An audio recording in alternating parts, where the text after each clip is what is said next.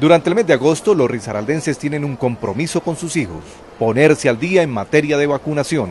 Para hacerlo, los padres de familia solo deben acercarse a la institución prestadora de salud más cercana a su casa, como el puesto de salud, hospital o su EPS. Durante todo el mes de agosto vamos a estar aplicando todas las vacunas del esquema ampliado de inmunizaciones, en especial la vacuna contra el neumococo y la influenza. Son especiales estas vacunas porque durante el verano o el invierno se aumentan las enfermedades respiratorias que pueden llevar a la muerte a los niños y las niñas y a los adultos mayores. Para facilitar la vacunación, el próximo 31 de agosto se realizará una jornada masiva en los 14 municipios del departamento. La jornada contará con cerca de 80 puntos de vacunación a los que se puede acudir entre las 8 de la mañana y las 4 de la tarde. Gobernación con resultados